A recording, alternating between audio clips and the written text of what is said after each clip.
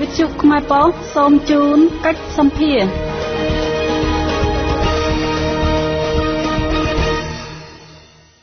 អស់លោកអ្នកស្ដាប់ជាទីមេត្រីនេតិដែលចូលមកបញ្ចប់កម្មវិធីផ្សាយរបស់វិទ្យុខ្មែរប៉ុស្តិ៍នៅថ្ងៃនេះសូមប្រិយមិត្តមកតាមដានស្ដាប់នៅកិច្ចសម្ភាររវាងខ្ញុំបាទសវណ្ណធីជាមួយនឹងលោកអៀចនាគឺជាអ្នកវិភាគឲ្យវិទ្យុខ្មែរប៉ុស្តិ៍ក្រមប្រធានបទ ការវិវត្តស្ថានភាពនយោបាយនិងសេដ្ឋកិច្ចនៅប្រទេសកម្ពុជាថាតើកិច្ចសម្ភារនេះមានអត្ថន័យយ៉ាងណានោះសូមប្រិយមិត្តមកតាមដានស្ដាប់ទាំងអស់គ្នាដូចតទៅបាទជម្រាបសួរប្រិយមិត្តអ្នកស្ដាប់វិទ្យុខ្មែរប៉ុស្តិ៍ជាទីមេត្រី បាទលំដាប់តទៅនេះវិទ្យុខ្មែរប៉ុស្តិ៍សូមលើកយកនៅកិច្ចសម្ភារក្រមប្រធានបទការវិវត្តវិស័យនយោបាយនិងសេដ្ឋកិច្ចនៅកម្ពុជា បាទលោកនាងជាទីមេត្រីវាគ្មិនរបស់យើងគឺលោកអៀចនា បាទប្រិយមិត្តក៏ធ្លាប់បានទទួលសម្ដាប់ជាច្រើនប្រធានបទតាំងពីមុនមុនមកនោះគឺលោកអៀចនាក៏ជាអ្នកវិភាគនយោបាយឲ្យវិទ្យុខ្មែរប៉ុស្តិ៍មួយរូបដែរនៅពេលនេះគឺដោយសារតែវិទ្យុខ្មែរប៉ុស្តិ៍ចាប់ផ្ដើមដំណើរការឡើងវិញអឺដូច្នេះអឺលោកអេចនាក៏បានចូលខ្លួនមកធ្វើវិភាគឲ្យវិទ្យុខ្មែរប៉ុស្តិ៍បន្តទៀតបាទជាដំបូងជម្រាបសួរលោកអេចនាបាទបាទសូមជម្រាបសួរលោកសវណ្ណធីបាទ បាទលោកអេចនាយើងឃើញថាវិទ្យុខ្មែរប៉ុស្តិ៍បានបែកពីលោកមួយរយៈបើគិតទៅជាមួយឆ្នាំហើយថាតើមកដល់ពេលនេះលោកមានក្តីសុខទុក្ខយ៉ាងណាដែរបាទសូមអរគុណយើងបែកគ្នារយៈពេលយូរគួរសមហើយបន្ទាប់ពីព្រឹត្តិការណ៍សង្គមរបស់យើងមានការប្រែប្រួលអឺហើយមែនតើទៅខ្ញុំមានសេចក្តីនឹករលឹកទៅដល់សហការីទាំងអស់ទៅដល់ លោកស្រីបងប្អូនជនរួមជាតិគ្រប់ទិសទីដែលជាអ្នកស្រឡាញ់គ្រប់គ្រងនៅការផ្សាយរបស់វិទ្យុខ្មែរប៉ុស្តិ៍របស់យើងហើយនឹងស្រឡាញ់គ្រប់គ្រងនៅការតស៊ូរបស់អ្នកស្នេហាជាតិដើម្បីលទ្ធិប្រជាធិបតេយ្យការគ្រប់សិទ្ធិមនុស្សនៅក្នុងប្រទេសកម្ពុជាខ្ញុំពិតណាស់ផ្លូវរាងកាយគឺមិនជាបញ្ហាទេប៉ុន្តែផ្លូវចិត្តរបស់ខ្ញុំខ្ញុំតែងតែមានសេចក្តីបារម្ភសេចក្តីនឹករលឹក ជាពិសេសការព្រួយបារម្ភអំពីជោគវាសនារបស់ប្រទេសជាតិរបស់យើងបាទលោកចនាមកដល់ពេលនេះឃើញថាស្ថានភាពនយោបាយនៅកម្ពុជាហាក់បីដូចជាដើរទៅជ្រុងមកខាង គឺបើយើងមើលទៅ ការដឹកនាំរដ្ឋាភិបាលដឹកនាំប្រទេសបច្ចុប្បន្នឃើញថាដឹកនាំដោយឯកបៈហើយគឺដឹកនាំដោយគណៈបកប្រជាជនកម្ពុជាយ៉ាងណាក្តីក៏យើងឃើញថាមានការមិនពេញចិត្តមានការរិះគន់តិទៀនមិនថាពីប្រជាពលរដ្ឋខ្មែរ មិនថាពីសហគមន៍អន្តរជាតិក្តីហ្នឹងគឺគេបានធ្វើការលើកឡើងជាច្រើនតកតងទៅនឹងការបោះឆ្នោតថាមិនសេរីថាមិនមានគណៈបកប្រឆាំងអីចូលរួមចឹងទៅអញ្ចឹងថាតើបញ្ហានយោបាយនៅកម្ពុជាមកដល់ពេលនេះលោករាជនាមើលឃើញបែបណាដែរបាទជាការពិតអ្វីដែលលោកបានលើកឡើងពាក់ព័ន្ធទៅនឹងការដឹកនាំប្រទេសឯកបកការបោះឆ្នោតដោយគ្មានសេរីយុត្តិធម៌និងត្រឹមត្រូវ នឹងការព្រួយបារម្ភពីសំណាក់ប្រជាពលរដ្ឋចំពោះជោគវាសនានៃប្រទេសជាតិរបស់យើងស្ថានភាពនយោបាយពេលនេះយើងមិនអាចប្រកែកបានទេទោះថាមានគណៈបកអឺចំនួន19ផ្សេងទៀតបូកផ្សំជាមួយនឹងគណៈបកប្រជាជនកម្ពុជាបានចូលរួមការបោះឆ្នោតប៉ុន្តែយើងឃើញថាវាគ្រាន់តែជាលបែងនយោបាយឆ្ពិនភ្នែក សម្រាប់ប្រជាពលរដ្ឋខ្មែរក៏ដូចជាសម្រាប់អន្តរជាតិគឺយើងឃើញទីបំផុតទៅគណៈបកទាំងអស់នោះគ្រាន់តែជាគណៈបកដើម្បីផ្ដល់នៅភាពគេហៅថាអឺស្របច្បាប់នៃលទ្ធិប្រជាធិបតេយ្យដ៏คล้ายคล้ายមួយ គឺគេចង់យកសម្លេងផ្សេងផ្សេងគ្នា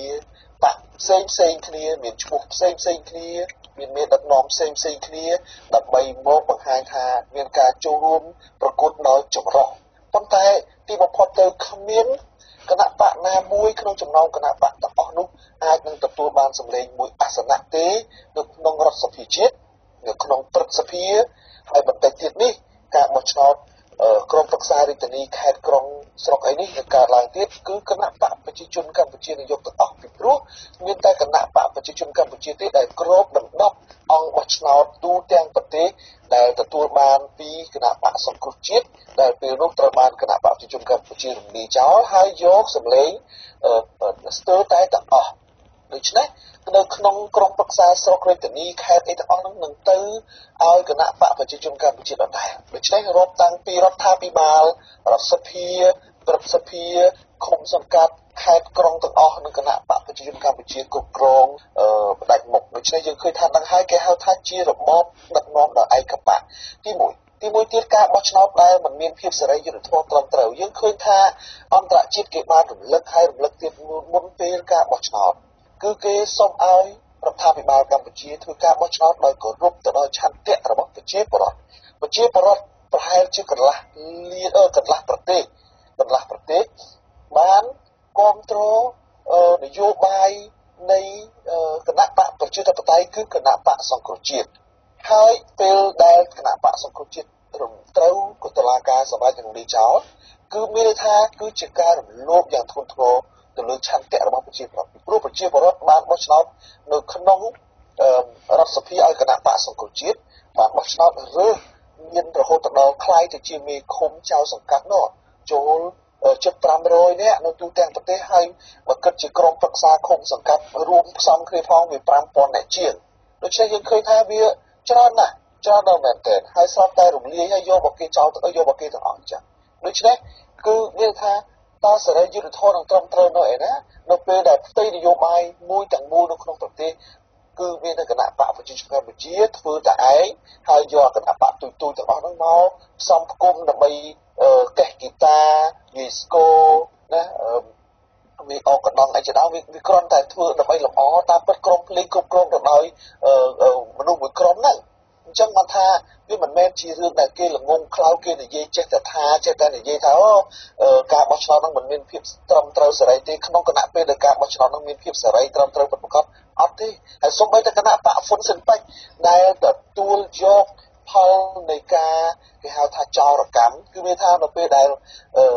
រដ្ឋរដ្ឋាភិបាលរំលែកគណៈបកសង្គ្រោះជាតិចោលទៅគណៈបកហ្វុនស៊ិនប៉ិចនិងគណៈបកទុយទុយ តិចតួចនោះបានម្នាក់ពីកៅអីគណៈបកហ្វុនពេជ្របានច្រើនជាងគេជាង40កៅអីប៉ុន្តែបំផុតទៅតើគណៈបកហ្វុនស៊ុនពេជ្រដែលយកសម្លេងកៅអីរបស់គណៈបកសង្គ្រោះជាតិជាង40កៅអីនោះតើបានប្រមាណកៅអីមកវិញគឺសូន្យដដែលហើយគណៈបកហ្វុនស៊ុនពេជ្រខ្លួនឯងចូលធ្វើការងារនៅក្នុងកោជបគឺគ្មានតម្លៃអ្វីទាំងអស់អញ្ចឹងសពសេចក្តីទៅការបោះឆ្នោតនឹងវាអត់មានភាពសេរីយុត្តិធម៌ត្រឹមត្រូវអីទាំងអស់ហើយទៅពេលនិយាយពីការព្រួយបារម្ភរបស់ប្រជាពលរដ្ឋ រួមទាំងខ្ញុំក្នុងនាមជាប្រជាពលរដ្ឋខ្មែរផងយើងមានការព្រួយបារម្ភយ៉ាងធ្ងន់ធ្ងរយ៉ាងខ្លាំងជាទីបំផុតនៃជោគវាសនាជាតិរបស់យើងឥឡូវយើងឃើញទេអន្តរជាតិគ្រប់កន្លែងទាំងអស់រួមផ្សំជាមួយនឹងអង្គការសហប្រជាជាតិអង្គការអន្តរសហភាពអន្តរសភាសហភាពអឺរ៉ុបនិងបណ្ដាប្រទេសធំធំដែលជាទីផ្សារសេដ្ឋកិច្ចធំសម្រាប់ដង្ហើមរស់នៃប្រទេសកម្ពុជាគឺបាននិយាយនឹងឲ្យសញ្ញាយ៉ាងច្បាស់លាស់អំពីការដែលត្រូវ កែប្រែជោគវាសនាការសម្លាប់លទ្ធិប្រជាធិបតេយ្យនៅកម្ពុជាឲ្យរស់ត្រូវធ្វើយ៉ាងម៉េចឲ្យរស់ឡើងវិញបើមិនដូច្នោះទេគឺគេមិនអនុញ្ញាតមិនអនុគ្រោះឲ្យរបបដែលដឹកនាំដោយគណៈបព្វជិជនកម្ពុជាដោយលោកហ៊ុនសែននេះអាចនឹងចេះតែធ្វើអ្វីៗតាមទៅដំណឹងចិត្តទេពេលនោះលោកហ៊ុនសែនគាត់រត់ទៅរកចិនរត់ទៅរកម៉ាឡេសំទោរត់ទៅរករុស្ស៊ីយើងឃើញថាមានគំរូប្រទេសមួយចំនួនហើយដែលរត់ទៅរកចិន ចិនជួយអត់បានទេទុយទៅវិញចិនបង្កហានិភ័យរត់ទៅរករុស្ស៊ីរុស្ស៊ីជួយអត់បានទេហើយសម្រាប់សម្រាប់ឥឡូវនេះពេលនេះភូមាដែលត្រូវអត់ត្រូវ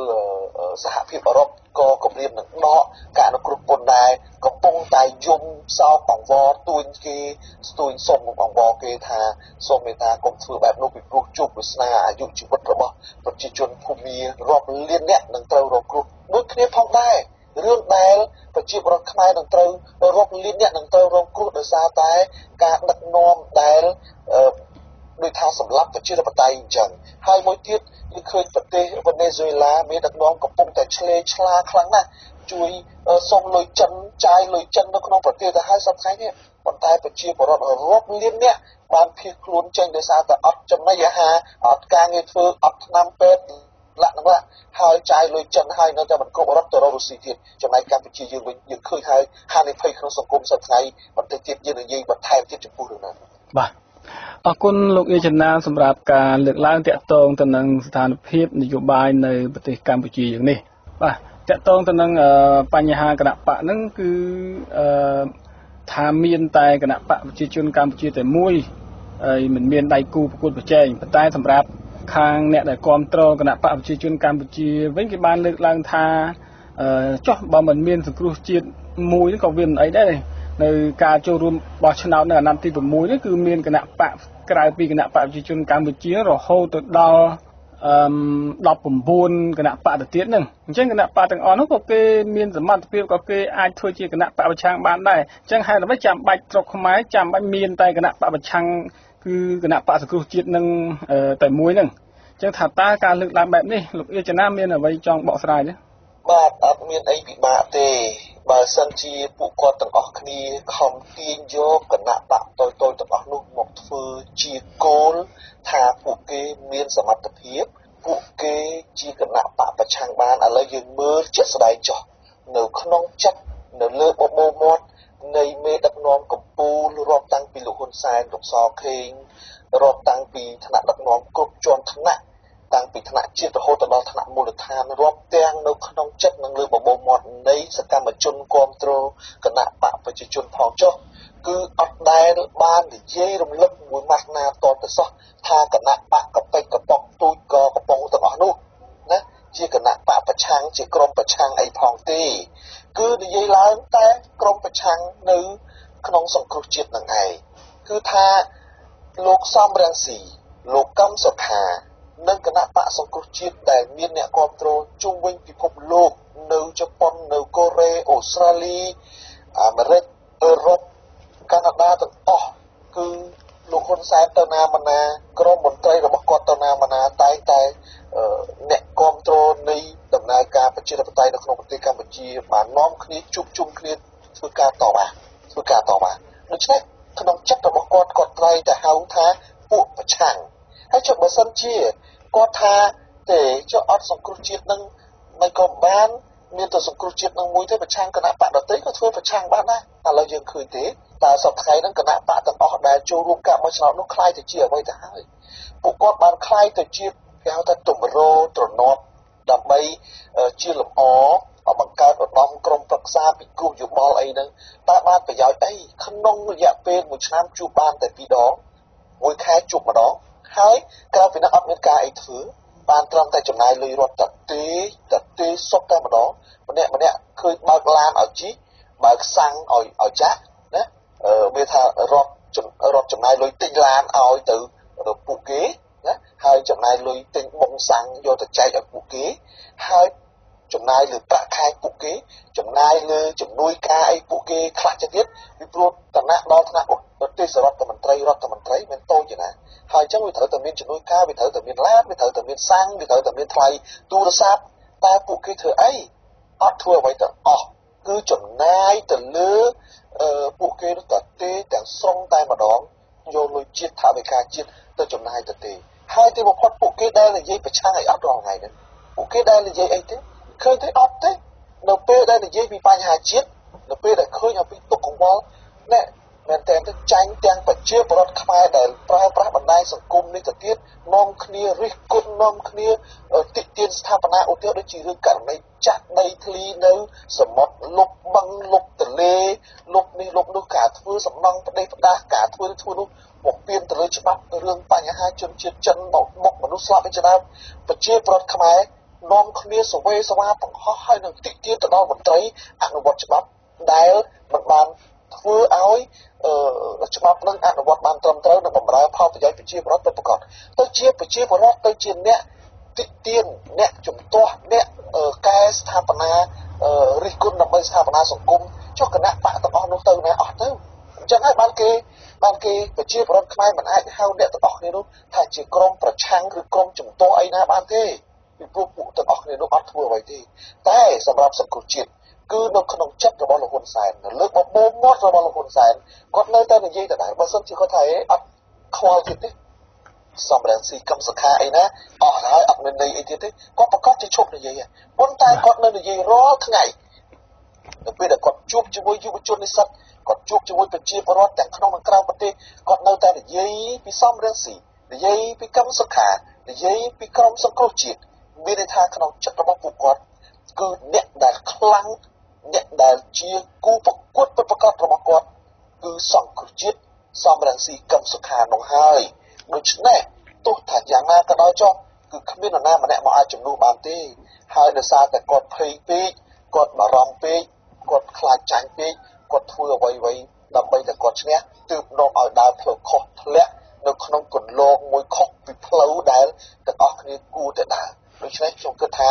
កន្លែងនេះហើយជាចំណុចដែលយើងត្រូវគិតពិចារណាបើសិនជាថាម្នាក់ម្នាក់ធ្វើដើម្បីផលប្រយោជន៍ជាតិតើអ្វីដែលអន្តរជាតិនិយាយទាំងអមល់បានត្រឹមត្រូវដែរទេគេអត់មានទៅចង់បានប្រយោជន៍តែពីខ្មែរទេគេមានតែជួយបើកផ្សារឲ្យខ្មែរឲ្យខ្មែរធ្វើការផលិតផលិតផលមកយកមកលក់នៅផ្សាររបស់គេយកលុយទៅដាក់កប៉ៅខ្លួនឯងតែគេគ្រាន់តែប្រាប់ថាគ្រប់សិទ្ធិមនុស្សស្ដារលទ្ធិប្រជាធិបតេយ្យឡើងវិញ ដោះលែងអ្នកទូនយោបាយរួមទាំងលោកកឹមសុខា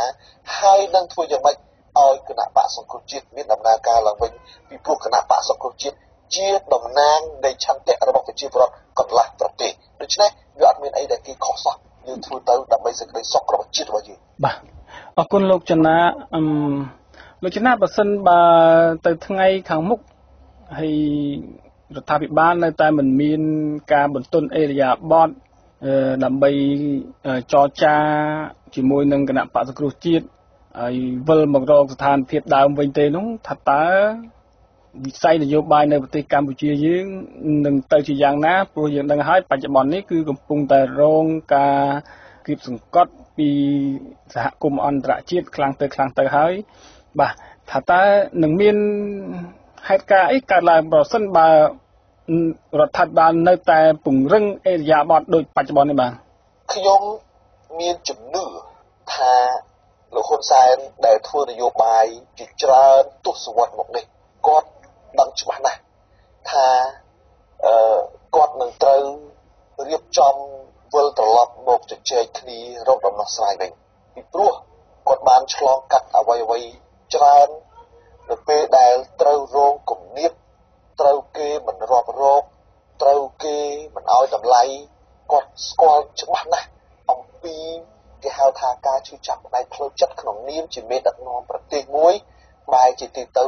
ណាមកណាគេស្ដីបន្ទោសទៅណាមកណាគេមិនសូវរាប់រកហើយឥឡូវយើងឃើញហើយថាចាប់ពីពេលដែលរំលីគណៈបកសង្គ្រោះជាតិមកចាប់លោកកម្មសខាដាក់ពន្ធនាគារកំចាត់ចំកំចាយអ្នកក្រុមអ្នកតស៊ូដើម្បីប្រជាធិបតេយ្យមកគាត់ទៅណាមកណា គឺគេនិយាយរកគាត់ចង់មកចង់កគាត់អង្គុយតែឯងហូបបាយតែឯងគេគេរកគ្នាគេអង្គុយជុំគ្នាគេជជែកគ្នាគាត់តែឯងឈរថតគាត់តែឯងដូច្នេះកន្លែងហ្នឹងហើយគាត់ដឹងច្បាស់ណាស់ប៉ុន្តែគាត់រឹងតឹងដើម្បីអ្វីគាត់មានយុទ្ធសាស្ត្ររបស់គាត់គាត់មានយុទ្ធសាស្ត្ររបស់គាត់គឺគាត់ថារយៈពេល5ឆ្នាំគាត់សុំឲ្យចិនជួយបប្រាវទៅណាចាំបានឃើញទេរយៈពេល5ឆ្នាំគាត់សុំឲ្យចិនជួយបប្រាវទីមួយទៀតគាត់ត្រូវ តឹងរឹងរូសដើម្បីរៀបចំធ្វើម៉េចកន្លែងហ្នឹងទុកឲ្យកូនរបស់គាត់មិនត្រឹមតែបង្ក្រាបអ្នកដែលជំទាស់នឹងគាត់អ្នកដែលទៅប្រកួតយកអំណាចពីគាត់ក្នុងគណៈបកក្របខ័ណ្ឌគណៈបកសង្គ្រោះជាតិទេសូម្បីតែផ្ទៃក្នុងគណៈបកប្រជាជនរបស់គាត់ក៏គាត់បង្ក្រាបដែរក៏គាត់មិនអោយនរណាម្នាក់ងើបរួចដែរពីព្រោះគាត់ត្រូវរៀបចំកន្លែងហ្នឹងទុកឲ្យកូនរបស់គាត់ចឹងយើងឃើញគាត់បង្ហើបហើយបង្ហើបទៀតគាត់និយាយជាសាធារណៈផងទាំងក្នុងនិងក្រៅប្រទេសដើម្បីឲ្យជាសញ្ញាដល់ខាងក្នុងថា កុំអ្នកណាម្នាក់ចង់ខ្លើមធំមកចង់យកកន្លែងហ្នឹងឲ្យសោះគឺកន្លែងទុកឲ្យកូនគាត់ទេណាហើយមួយទៀតនៅពេលដែលគាត់រឹងទៅទឹកបន្តិចទៅពេលនោះគាត់នឹងឆ្កាស់ធ្វើយ៉ាងម៉េចឲ្យក្រុមគណៈបកសង្គ្រោះជាតិឆ្លុះទាស់គ្នាខ្លាយខ្លាចចឹងទៅបែកបាក់គ្នាទៅគឺទីបំផុតប្រជាពលរដ្ឋអស់សង្ឃឹមអស់ជំនឿគាត់ឈ្នះរហូតតទៅណាដូច្នេះពេលនេះគាត់គាត់គាត់ត្រូវឆ្លងកាត់ការលំបាកតែគាត់រឹងដើម្បី ជាជោគជ័យរបស់គាត់ក្នុងរយៈពេលយូរអង្វែងទៅមុខទៀតតែខ្ញុំមានជំនឿថានៅពេលដែលគាត់ដឹងច្បាស់ណាស់នៅពេលដែលអឺរ៉ុបគេកាត់ផ្ដាច់នៅប្រព័ន្ធអនុគ្រោះពន្ធត្រូវទទួលការស្ដីបន្ទោសពីអង្គការសហប្រជាជាតិត្រូវទទួលការស្ដីបន្ទោសពីមជ្ឈដ្ឋានអន្តរជាតិគ្រប់ទិសទីគេមិនសូវរាប់រកគេកាត់ផ្ដាច់តំណែងតំណងច្រើនគេកាត់ផ្ដាច់ជំនួយពេលនោះគឺរដ្ឋាភិបាល ដឹកនាំប្រទេសមួយដែលត្រូវការលុយយកមកកសាងហេដ្ឋារចនាសម្ព័ន្ធយកលុយមកឲ្យប្រាក់ខែទៅដល់មន្ត្រីរាជការជាពិសេសគឺកងកម្លាំងប្រដាប់អាវុធដែលគាត់រើសយកមកជាច្រើនអ្នកតើគាត់អាចទប់ទល់នឹងយកលុយហោប៉ៅរបស់គាត់ដាក់បានទេហើយលុយចិនធ្វើបានទេឥឡូវយើងឃើញទេប្រទេសវេណេស៊ុយអេឡាគាត់អត់អត់ធ្វើបានទេអត់ធ្វើបានទេគឺគាត់សុំលុយចិនរហូតដល់ឲ្យចិនប្រើប្រាស់ រូបិយវត្ថុរូបិយវត្ថុរូបិយប័ណ្ណរបស់ខ្លួននៅលើទឹកដីវេណេស៊ុយឡាហើយកម្ពុជាយើងកំពុងតែដើរទៅផ្លូវនោះដែរគឺធនាគារជាតិកាលពីប្រហែលថ្ងៃមុនបានប្រកាសថាការចរាចរណ៍នៅរូបិយវត្ថុចិនគឺថាបានដូច្នេះយើងឃើញថាវាទៅហើយប៉ុន្តែទៅអត់រួចទេវេណេស៊ុយឡារត់ទៅរកជំនួយប្រទេសផ្សេងទៀតកម្ពុជាដូចគ្នាដែរគឺវាដូចតែគ្នាអញ្ចឹងដឹងតើថាចិនជួយអត់បានទេពីព្រោះចិនជាប្រទេសមិនមែនជាប្រទេសអ្នកមានហើយទោះបីជាអនុប្រធានរដ្ឋសភាប្រជាជនចិនមកពីម្សិលវិញម្សិលមួយថ្ងៃនេះថាអូប្រជាជនចិនជាង1000លាននាក់អីហ្នឹងគ្រប់គ្រងលោកហ៊ុនសែនអូប្រជាជនប្រជាជនចិនជាង1000លាននាក់នឹងទិញអីវ៉ាន់ទិញតំណែងផលិតផលពីគ្រាន់តែថាតាមខេត្តហ្នឹងទិញសង្ឃថាអស់មកប្រទេសទៅហើយពីកម្ពុជានោះប្រទេសកម្ពុជាតូចតែមួយហ្នឹង ទៅអត់រួចទេពីព្រោះប្រជាប្រដ្ឋចិននៅហូបពងទានៅឡើយទេបងប្អូនហូបពងទាជាមួយនឹងបាយជាមួយនឹងអីនៅឡើយទេអត់តន់មានលទ្ធភាពអីណាផ្លាស់ប្ដូរតំណែងសម្លៀកបំពាក់ឧបករណ៍ប្រើប្រាស់តាមចិត្តនោះទេប្រាក់ប្រាក់ចំណូលរបស់ពួកគាត់នៅខ្សោយនៅឡើយទេដូច្នេះប្រទេសចិនជាប្រទេសដែលផលិតនិងប្រកួតប្រជែងលក់ចេញទៅក្រៅដូច្នេះហើយมันអាចនឹងឲ្យប្រទេសចិនមកជួយ មកឲ្យធ្វើជាទីផ្សារសម្រាប់កម្ពុជាបានទេដូច្នេះខ្ញុំជឿថាចំណុចទាំងអស់នេះនឹងធ្វើឲ្យលោកហ៊ុនសែនត្រូវតែត្រូវតែធ្វើការបើកការជជែកគ្នានៅថ្ងៃខាងមុខក្នុងពេលដែលឆាប់ខាងមុខនេះព្រោះត្រូវតែធ្វើបែបហ្នឹងដើម្បីរបបគាត់រួមតទៅមុខទៀតតែបើសិនជាបើសិនជាគាត់នៅរឹងទៅទិនហើយមិនព្រមធ្វើអ្វីទាំងអស់ដូចខ្ញុំបញ្ជាក់ខាងដើមគឺដើម្បីតែផលប្រយោជន៍គាត់និងកូនចៅរបស់គាត់បាក់របស់គាត់តែប៉ុណ្ណោះ មិនមែនដើម្បីផលប្រយោជន៍ជាតិណានោះទេបងប្អូនសូមជម្រាបជូនឲ្យច្បាស់ព្រោះបើសិនជាតាំងខ្លួនយើងថាស្រឡាញ់ជាតិស្រឡាញ់កម្មករស្រឡាញ់ប្រជាពលរដ្ឋអាណិតអាសូរកម្មករគឺត្រូវធ្វើយ៉ាងម៉េចឲ្យប្រាក់ខែគាត់បានកើនឡើងត្រូវធ្វើយ៉ាងម៉េចឲ្យជីវភាពរស់នៅរបស់គាត់បានល្អប្រសើរឡើងត្រូវធ្វើយ៉ាងម៉េចឲ្យទីផ្សារកាន់តែមានប្រសិទ្ធភាពនិងកាន់តែមានភាពទូលំទូលាយមិនមែនដើរបបិទទីផ្សារគ្រប់កន្លែងចឹងនោះទេហើយគាត់ ប្រឹងធ្វើដើម្បីតែរៀបចំឲ្យកូនចៅរបស់គាត់តែប៉ុណ្ណោះទោះបីយ៉ាងណាក៏ដោយចុះខ្ញុំនៅតែលើកទឹកចិត្តខ្ញុំនៅតែមានជំនឿថាបើអ្នកទាំងអស់គ្នាធ្វើនយោបាយដើម្បីគិតប្រជាពលរដ្ឋហើយជាពិសេសខ្ញុំលើកទឹកចិត្តឲ្យប្រជាពលរដ្ឋធ្វើជាប្រជាពលរដ្ឋដែលខ្លាំងធ្វើជាប្រជាពលរដ្ឋដែលចេះ មានបញ្ញាញាណធ្វើជាប្រជាពលរដ្ឋដែលចេះត្រាស់រិះពិចារណាធ្វើជាប្រជាពលរដ្ឋដែលមកនៅស្រោមដែលគេបិទមាត់នឹងចេញហើយហ៊ាននិយាយការពិតជាពិសេសលើកទឹកចិត្តទៅដល់បញ្ញវន្តខ្មែរដែលកំពុងតែអបអសាទរដែលកំពុងតែស្រឡាញ់នៅអ្វីអ្វីដែលថាខ្លួនមានទ្រព្យសម្បត្តិលៀបសក្ការៈដោយថ្ងៃមុននេះយើងឃើញតើលោកសោយសុភាពគាត់ទៅកំពង់សោមគាត់ទៅនិយាយថាអឺប្រជាប្រដ្ឋខ្មែរនាំគ្នាមកលេងកំពង់សោមវិញមក ណែមកលេងកំពង់សោមវិញមកទោះថាថ្លៃអូតែលមួយយប់100ដុល្លារក៏វាមិនថ្លៃស្មើសិង្ហបុរីផងសូមឲ្យគិតពិចារណាមុននឹងនិយាយស្ដីយើងបានរៀនបានសូត្រយើងធ្វើកិច្ចការងារធ្វើជាអ្នកសារព័ត៌មានផងណាហើយជាពិសេសបញ្ញវន្តដតីដតីទៀតដែលនាំគ្នាសបាយអនឹងទ្រព្យសម្បត្តិនិងលៀបសក្ការៈមុនស័កដល់ឯ ហែហោមជាមួយលោកហ៊ុនម៉ាណីដល់ហែហោមជាមួយលោកហ៊ុនម៉ាណែតដល់ហែហោមជាមួយនឹងមន្ត្រីគណៈបព្វជិជនកម្ពុជាយើងគិតផងថាតើយើងជាបញ្ញវន្តរៀនសូត្រមកដើម្បីអ្វីដើម្បីជួយប្រទេសជាតិមិនមែនដើម្បីជួយតែខ្លួនយើងទេអញ្ចឹងយើងគួរតែហ៊ានធ្វើការពិតយើងគួរតែនាំគ្នាធ្វើយ៉ាងម៉េចឲ្យប្រជាពលរដ្ឋលោកចេះលោកដឹងហើយកែប្រែសង្គមយើងដោយសន្តិវិធីដូច្នេះខ្ញុំមានតែលើកទឹកចិត្តថាឲ្យធ្វើល្អឲ្យចម្រើនចម្រុងទៅដល់ប្រទេសជាតិ មិនមែននាំគ្នាទៅកាប់ចាក់គ្នាទេបាទបាទបាទអរគុណលោកអ៊ីចនាដែលបាន លើកឡើងតាក់ទងទៅនឹងវិស័យនយោបាយលោកអ៊ីចនាប្រសិនបើស្ថានភាពនយោបាយដូចអ្វីដែលលោកបានលើកឡើង ក្នុងពេលបច្ចុប្បន្ននេះថាតើសេដ្ឋកិច្ចនៅកម្ពុជា លោកមើលឃើញបែបណាដែរបាទបើស្ថានភាពនយោបាយមិនប្រែប្រួលទេសេដ្ឋកិច្ចនៅកម្ពុជា គឺធ្លាក់ដុនដាបមែនទែនទោះថាចិននាំគ្នាមកជួយ ជួយអត់ទៅទេយើងមើលពីភាពខុសគ្នានៃការដែលដាក់វិនិយោគរបស់ចិននិងការដែលប្រទេសលោកសេរីដាក់វិនិយោគ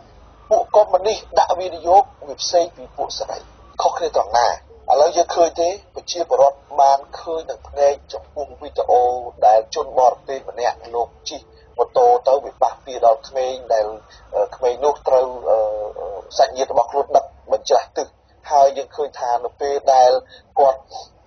ប៉ះពីទៅគាត់ទោះថាគាត់មិនខុសច្បាប់អីទេព្រោះគាត់ជិះស្រោបទឹកណាត្រឹមត្រូវតាប៉ុន្តែគាត់នៅតែសំទោសគាត់នៅតែលុតជង្គង់គាត់នៅតែសំពះគាត់នៅតែយកចិត្តទុកដាក់ទៅមើលក្មេងនោះណាហើយគាត់នៅតែសក់ចិត្តសងជំងឺចិត្តពីព្រោះយ៉ាងណាក៏ដោយចុះគឺថាជួយគ្នាទៅហើយគាត់ក៏ជាអ្នកមកខំលេងកីឡាលេងលេងនោះដើម្បីស្រីអគិប្រាក់ដើម្បីទៅជួយកុមារខ្មែរយើងឃើញទីសម្ដានចិត្តបេះដូងនៃ ពួកលោកសេរីគឺវាមានភាពល្អអញ្ចឹងខ្ញុំមិនមែននិយាយសរសើរគេដោយអត់មានហេតុអត់មានផលទេនិយាយដោយត្រង់ចឹងម្ដងចំណែកចិនដែលគេយកបង្ហាញវីដេអូដូចគ្នានៅពេលដែលផឹកស្វឹងវាយកាប់ចាក់ដំបងឈោលើក្បាលឡានលើដំបូលឡានជេរបតិចផ្ដាសាហើយរឿងថ្មីថ្មីមួយទៀតដែលវីដេអូទើបតែបង្ហាញថ្ងៃម្សិលមិញថ្ងៃនេះគឺស្ត្រីចិនម្នាក់ដែលបង្កការអុកលុកនៅជាមួយនឹង តកងឡានណាតកងឡានកំពុងតែបើកឡានក្រុងផងហើយមនុស្ស40នាក់ជាងនឹងអង្គុយក្នុងឡានធ្លាក់ស្ពានស្លាប់ទាំងអស់យើងឃើញទេនឹងចរិតវាខុសគ្នាណាបងប្អូនចរិតវាខុសគ្នាគឺរបៀបហ្នឹងហើយដែលខ្ញុំថាការធ្វើវិនិយោគរបស់ចិនគឺអត់អាចនាំឲ្យប្រទេសកម្ពុជាយើងជួបប្រទេសនៅគេហៅថាការរីកចម្រើនប្រកបទៅដោយសេចក្តីសុខទេឥ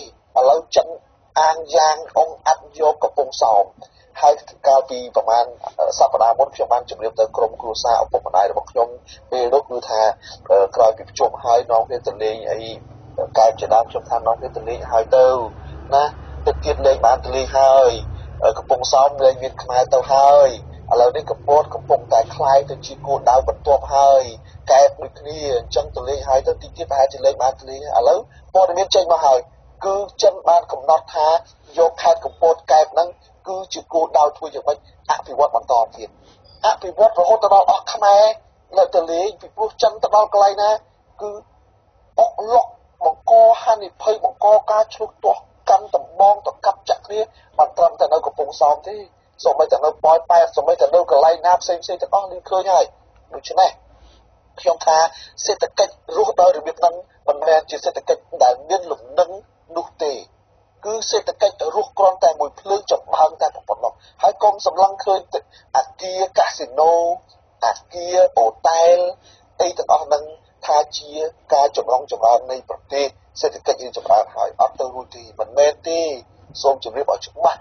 គឺកន្លែងហ្នឹងគ្រាន់តែជាផ្ការីកល្អល្អមើលតែប៉ុណ្ណោះប៉ុន្តែ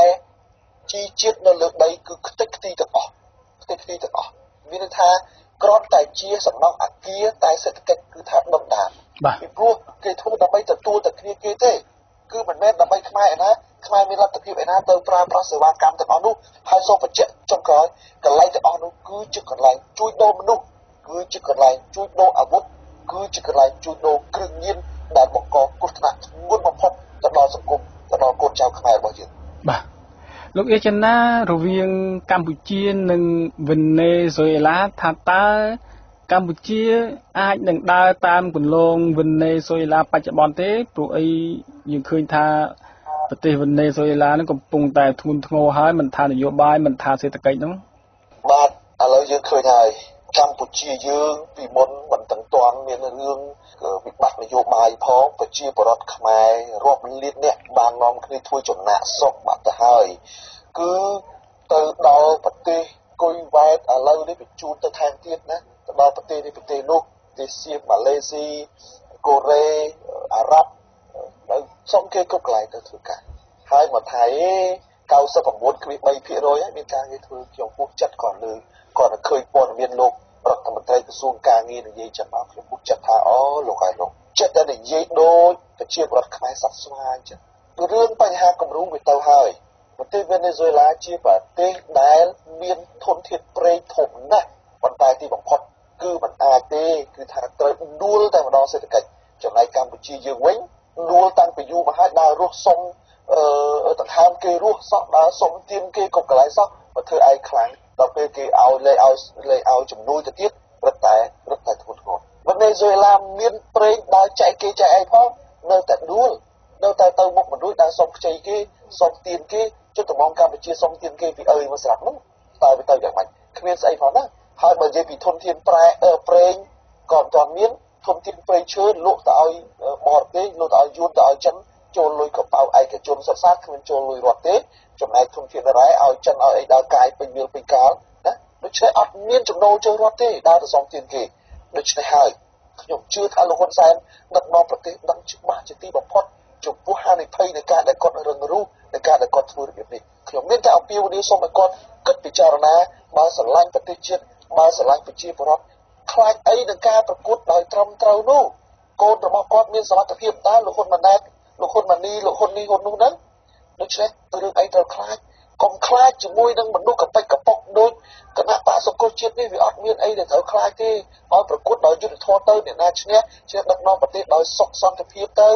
អភិវឌ្ឍទៅទាំងអស់គ្នាទៅរស់បានស្រួលហើយទ្រព្យសម្បត្តិក៏មានមហាសាលទៅហើយហ្នឹងចាំបាច់ទៅខ្លាចអីទៀតអញ្ចឹងមិនថាហើយវាយ៉ាងទៀតលោកកឹមសុខាលោកសំរងស៊ីគាត់និយាយថាគាត់អត់មានទៅយក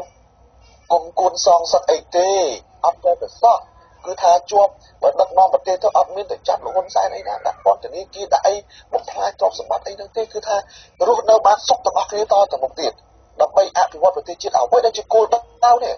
យើងត្រូវគិតថាកុំឲ្យប្រទេសជាតិយើងក្លាប់ចាក់ដោយបណ្ដាប្រទេសអស់ទាំងនោះតតែយើងងាកត្រឡប់ទៅស្ដារប្រជាធិបតេយ្យឡើងវិញពីព្រោះបើមិនដូច្នោះទេគឺធ្ងន់ធ្ងរទាំងអស់គ្នាបាទបាទ លោកអ៊ីចាណាតកតងនឹងវិស័យនយោបាយយើងឃើញថាទោះបីជាសហគមន៍អឺរ៉ុបនឹងកំពុងតែខ្វាយខ្វល់នឹងរោគដាក់ទណ្ឌកម្មសេដ្ឋកិច្ចអីហ្នឹងមិនថាអាមេរិកមិនថាបណ្ដាប្រទេស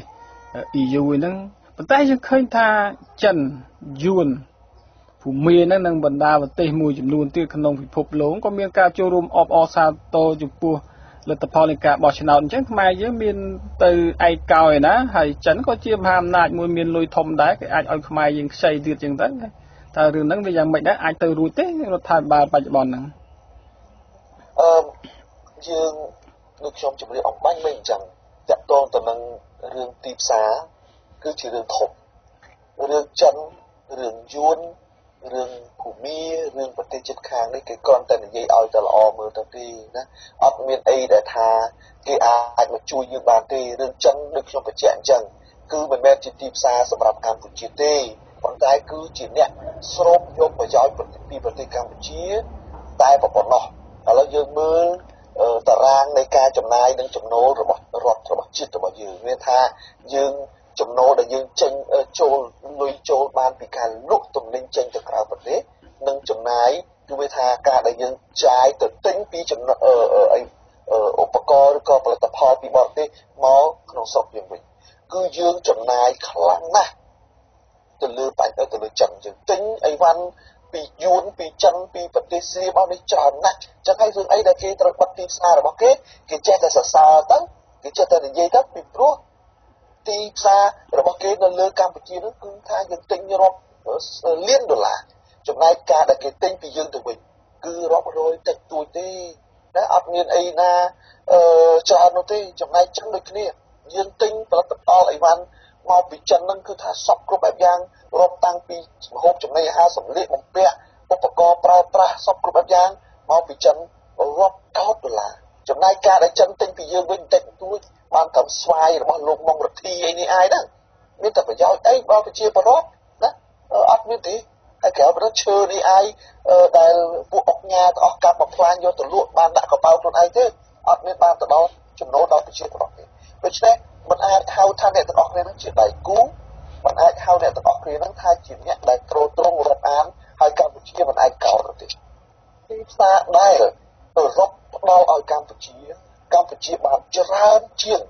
ដែលកម្ពុជាទៅទិញផលិតផលរបស់ប្រទេសប៉ុន្តែផលិតផលនៅអឺរ៉ុបផលិតផលនៅអាមេរិកនេះមានគុណភាពខ្ពស់ប៉ុន្តែការដែលដោយសារតែមានគុណភាពខ្ពស់នឹងហើយទើបវាមានតម្លៃគួរសមដល់ពេលតម្លៃគួរសមគឺធ្វើឲ្យប្រជាពលរដ្ឋខ្មែរមិនអាចមានលទ្ធភាពអីទិញច្រើនទេណាប៉ុន្តែទិញមួយដឹងមួយបើយើងពីស្បែកជើងដូចគ្នាខោដូចគ្នាអាវដូចគ្នា ឧបករណ៍ប្រើប្រាស់ផ្សេងដូចគ្នាចឹងបានមកគេនិយាយអូតើអានឹងមកពីអាល្លឺម៉ង់មែនទេអានឹងមកពីអឺជប៉ុនមែនទេអានឹងមកពីអាមេរិកមែនទេសូម្បីតែលោកជាសភារាសួរទៅលោកមករទ្ធីថាតើអាឧបករណ៍តាក់ទោដើរជោគថ្មតាមជោគសម្រាមតាមមាត់សមុទ្រទិញនៅឯណាបានលោកមករទ្ធីចង្អុលវឹកទៅអាល្លឺម៉ង់ឃើញទេមិនចង្អុលទៅចិនទៅសូមអល់តរមកពីព្រោះយើងនិយាយពីគុណភាព ដូច្នេះហើយបានខ្ញុំថាដោយសារតែគុណភាពទើបវាមានតម្លៃដល់ពេលមានតម្លៃយើងទិញតិចតួចទេចូលកម្ពុជាប៉ុន្តែគេបើកឲ្យយើងយកទំនិញផលិតផលពីស្រុកយើងយកទៅលក់ស្រុកគេបានចំណូលមកស្រុកយើងវិញយ៉ាងច្រើនសន្ធឹកសន្ធាប់ដូច្នេះយើងទៅបិទកន្លែងលក់ចេញបានច្រើនទៅបើកកន្លែងលក់ចេញបានតិចតើវាមានភាពឆ្លាតវៃទេក្នុងការដឹកនាំប្រទេសខ្ញុំថារឿងបញ្ហា រាប់អានគ្នារឿងបញ្ហាលើកសរសើរលើកសរសើរដើម្បីប្រយោជន៍រឿងអីដែលគេមិនអាចនិយាយបានពីព្រោះកម្ពុជាទីទីផ្សាររបស់គេដ៏ធំដូច្នេះគេនិយាយប៉ុន្តែសម្រាប់អឺរ៉ុបសម្រាប់អាមេរិកសម្រាប់ប្រទេសលោកសេរីគេនិយាយពីព្រោះគេចង់ឲ្យខ្មែររស់ដោយសេចក្តីថ្លៃថ្នូរពិតប្រាកដ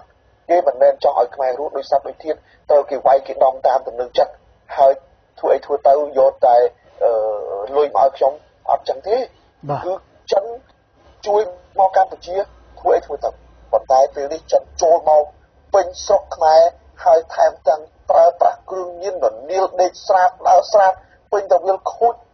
វប្បធម៌ប្រពៃណីខ្មែរអស់ចាំបានខ្ញុំថាកន្លែងហ្នឹងហើយដែលជាចំណុចគ្រោះថ្នាក់ធ្ងន់ណាស់បាទបាទដើម្បីឲ្យនយោបាយក៏ដូចជាសេដ្ឋកិច្ចនៅកម្ពុជាយើងវិលមករកភាពអភិវឌ្ឍវិលមករកអឺសភាពដើមវិញដែល ពីមុនមកយើងឃើញថាសិទ្ធិបញ្ចេញមតិក្តីហ្នឹងគឺយើងអាចនិយាយបានជាច្រើនអីចឹងទៅថាតើលោកអេចំណាំមានយោបល់អ្វីទេដើម្បីជាការផ្ដល់អឺក៏ដូចជាធ្វើយ៉ាងណាដើម្បីឲ្យចង់និយាយថាឲ្យផ្ដល់ទៅកាន់ប្រជាពលរដ្ឋខ្មែរឲ្យលោកបានយល់ថាប្រទេសកម្ពុជាគួរតែធ្វើបែបនេះបែបនោះដើម្បីឲ្យស្ថានភាពហ្នឹងវិលមករកភាពដើមឡើងវិញនោះបាទ ជាដំបូងជារឿងងាយលោកហ៊ុនសែនធ្លាប់ធ្វើរឿងហ្នឹងវាជារឿងមិនថ្មីអីទេលោកសម្រាប់លោកហ៊ុនសែនខ្មែរចេះនិយាយគ្នាបានគាត់ធ្វើបានច្រើនលើកច្រើនសារមកហើយតាគាត់តែតែថានយោបាយឈ្នះឈ្នះរបស់គាត់រាប់តាំងពីបង្កើតនៅកិច្ចព្រមព្រៀងសន្តិភាពទីក្រុងប៉ារីសមកពេលនោះមានច្បាំងគ្នាដល់អាវុធផងណា